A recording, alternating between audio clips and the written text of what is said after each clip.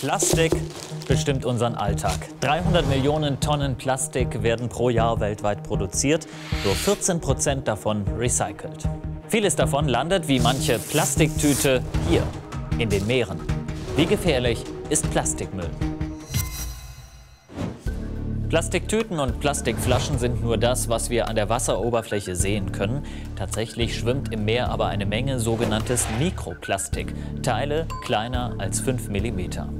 Mikroplastik gibt es zum Beispiel in Duschpeelings oder in Zahnpasta, denn die kleinen Plastikteilchen schmirgeln gut. Oder Gummireifen, sie verlieren Teilchen in die Umwelt. Oder synthetische Fließkleidung, pro Waschgang gehen 2000 Kunstfasern ins Abwasser. Kläranlagen halten Mikroplastik nur zum Teil auf. Über die Flüsse kommt es in die Meere und von dort verteilt es sich wegen der Meeresströmungen weit. Am Ende landet Plastikmüll in fünf gewaltigen Strudeln in den Ozeanen. Der größte von ihnen ist doppelt so groß wie Deutschland. Sogar in der Arktis haben Wissenschaftler schon Mikroplastik im Eis nachgewiesen.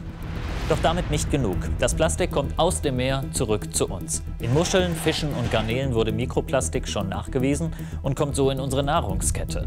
Und gelangt Plastik in unseren Körper, kann es uns krank machen. Was lässt sich gegen Plastikmüll tun? Ein bisschen was ist schon in Bewegung. Länder wie Bangladesch oder Ruanda haben Plastiktüten schon komplett verboten. In Deutschland sind wir noch nicht so weit. Supermärkte und große Ketten bieten aber immer seltener kostenlos Plastiktüten an. Umweltschützer fordern auch, Mikroplastik in Kosmetikprodukten zu verbieten. Doch nicht überall ist Plastik schlecht. Zum Beispiel sorgen Plastikteile in Autos dafür, dass sie leichter sind und damit spritsparender. Umweltschützer sagen aber, dann müssten 100 Prozent der Plastikteile recycelt werden.